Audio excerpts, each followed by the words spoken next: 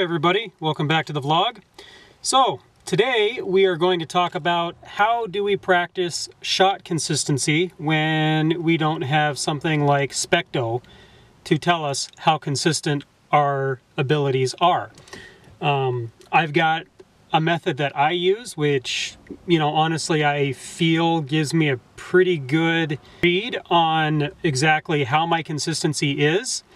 And uh, yeah, it's pretty simple. It requires a little bit of tape, permission from the bowling alley owner, of course. And yeah, anyway, so what we're going to do here is we're going to take some masking tape. Now it's important that you definitely use masking tape and you don't try and use any other type of tape that's got at least more sticky to the adhesive because you want to be able to get the tape off the lane once you go to remove it. So I just use some straightforward blue masking tape.